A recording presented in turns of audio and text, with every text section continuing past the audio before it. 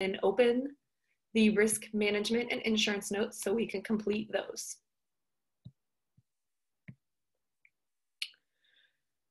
Okay, so here is um, just some terminology.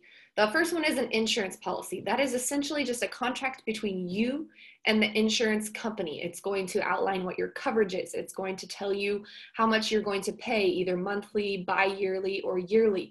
It's going to tell you what your deductible is. It's going to have any exclusions, so things that aren't covered.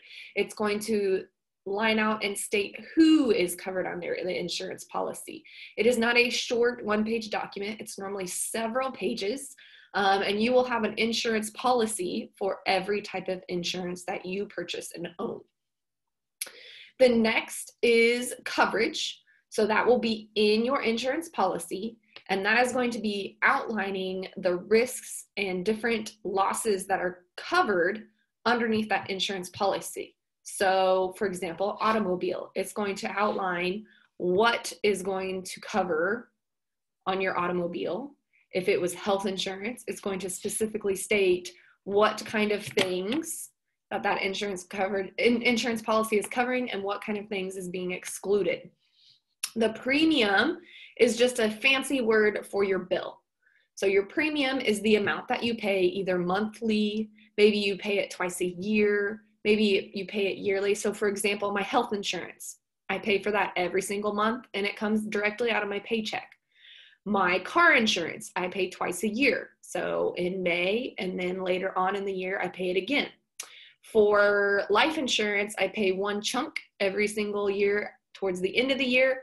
So, your premium is going to be different for every type of insurance, different amount, different times, and different pay or um, billing periods. The policyholder is the person who is purchasing the insurance.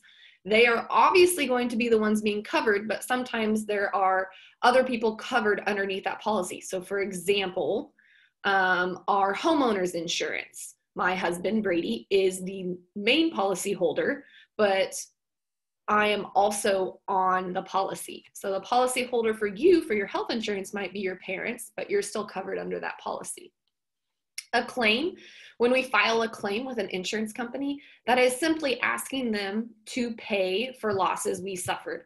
So maybe I was in a car accident, fender bender, and my whole passenger side is caved in on my vehicle. Bad deal, right? I don't want to pay for that out of pocket. So I'm going to file a claim with my insurance company in hopes that they will help me pay for those repairs and damages. A deductible is the amount that we as policyholders have to pay before the insurance is going to pay anything. So normally a deductible on a vehicle is anywhere from five to eight hundred dollars. So before that insurance company paid for my car claim, I'm going to have to pay five to eight hundred dollars of the loss before insurance pays for the rest. Okay, so hopefully you fill those out in your notes along the way. All right, deductible versus premium. Your deductible, we've already kind of talked about that. And premium, we've already kind of talked about also. Premium is your monthly bill or bi-yearly or yearly. It's the bill you're paying for insurance. Deductible is the amount you're paying before insurance kicks in. They work hand in hand. Okay, if we have a really low deductible, meaning we don't have to pay a whole lot up front for insurance before insurance starts paying, then that means we're paying a very high premium for that service. It could be flipped. You could have a really high deductible, meaning if something happens, you're paying a lot out of pocket up front before insurance pays. In return, that would cause us to have a very low premium, meaning we're paying very little for that insurance coverage. So these two work together. If one is low, the other is going to be high. The goal as a consumer is that we get these as reasonable as possible. So we make sure we choose an insurance policy that has a deductible that we could afford in the event we need to file a claim. And we choose an insurance policy with a premium, a bill that we can also afford to have that coverage. Okay, last little bit on your notes. There are two types of insurance that are required in the state of Kansas. The first one is automobile insurance. So technically we only have to have liability coverage, but there are five types of automobile insurance out there. You can have a little bit of each type of coverage, um, but the one that is state mandated is liability insurance. Automobile insurance is not mandated across all 50 states. Okay, so that's specifically a Kansas mandate. Other states also mandate it, but Kansas is one of them. The other one, um, due to Obamacare, which if you have been keeping up with politics, that has been in the news a lot and on the political platform. Um, right now, it is nationally mandated that you have some form of health insurance coverage, whether it's state provided, employee provided, um, you have to have some sort of coverage.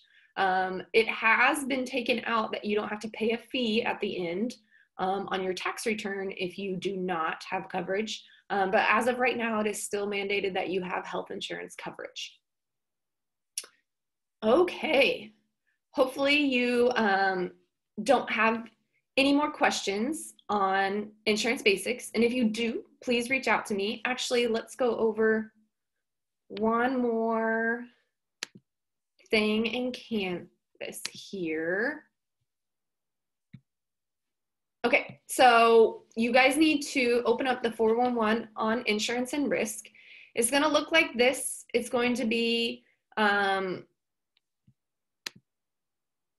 sorry.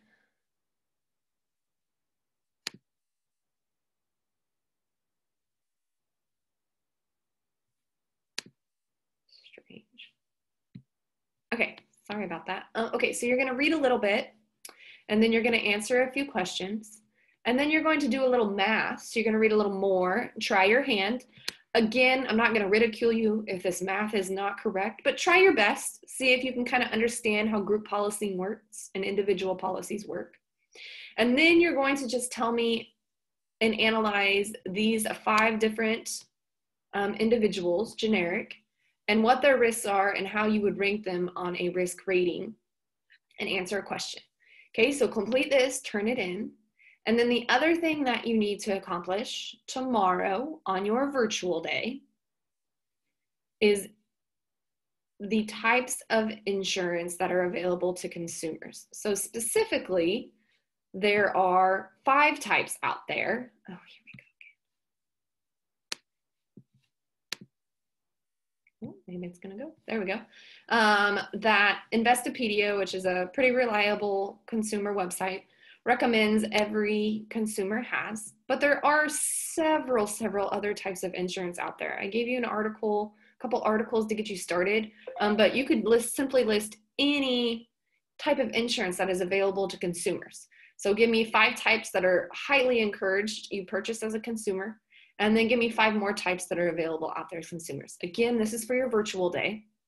The only other thing you need to do is you need to study um, the vocabulary that we have learned thus far. So next class period, you are going to have a insurance vocabulary test. So we took a pre-test last class. You are going to take a quiz next class. So the Quizlet is in Canvas um, if you would like to use it, or you can create your own.